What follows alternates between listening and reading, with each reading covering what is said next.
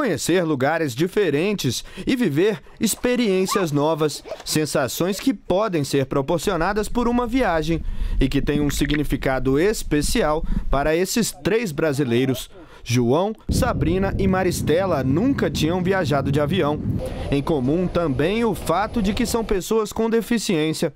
Cada um deles viajou para um destino no país, com atrativos que oferecem acessibilidade. Dois, três e já! A estudante Sabrina, de 17 anos, tem deficiência auditiva e se impressionou com os encantos naturais de Bonito, no Mato Grosso do Sul. Eu acredito que seja uma lembrança eterna, porque é a primeira viagem e também porque eu fui ao primeiro lugar, um dos lugares mais bonitos do Brasil. João Paulo, que perdeu os movimentos da perna, experimentou também a sensação de entrar no mar de Porto de Galinhas, em Pernambuco, e disse que vai guardar tudo na memória para sempre. Ver o mar, o peixe, foi muito maravilhoso. Já a aposentada Maristela, deficiente visual, realizou o sonho de andar a cavalo. As aventuras foram no Hotel Fazenda, na cidade de Socorro, no interior de São Paulo. Sensações libertadoras para ela. Eu chorei.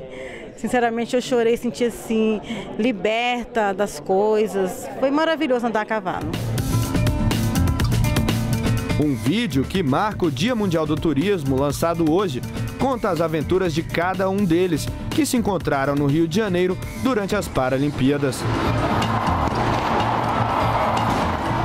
A viagem foi a convite do Ministério do Turismo e a iniciativa está alinhada com o tema proposto para a data neste ano, que é Turismo para Todos, promovendo a acessibilidade universal. O ministro do Turismo lembrou também que as Paralimpíadas chamaram a atenção para o tema.